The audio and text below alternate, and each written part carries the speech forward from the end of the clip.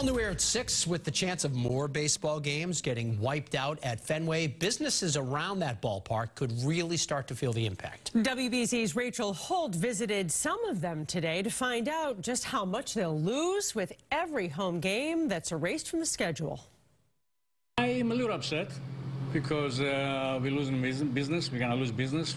All is quiet around Fenway Park. The question is, for how long? The main thing for us is going to be how many home games might we lose. Um, those are going to be our busiest days of the year by far. As the MLB lockout continues, restaurants, bars, and stores near the ballpark try their best to plan ahead. But it's difficult when you compare days like this with the crowds they see during Red Sox home games. A big difference. Game days, we have 40,000 people every day.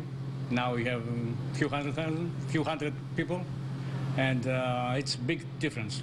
You have to buy things much further in advance. You know, we can't just react to, oh, all of a sudden we get a one week window that we now know their games. Both the MLBPA and MLB launched separate $1 million funds for stadium workers affected by the cancellation of games. Meanwhile, local businesses brace for potential financial impact. Uh, Game days are incredible. Probably about 2,000 people pass through the doors. You have a line of an hour wait. On a non-game day, you get the tours, which are not being used too often right now. Staffing is a major question for Fenway businesses. Here at Cask and Flagon, they tell us on non-game days, they usually have three people working here. On game days, that number increases to 50 employees.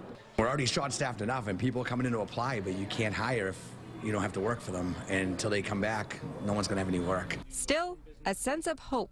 Uh, the feeling is, I think right now, still optimistic that we are going to get most of a season, if not the entire one. Rachel Holt, WBZ News.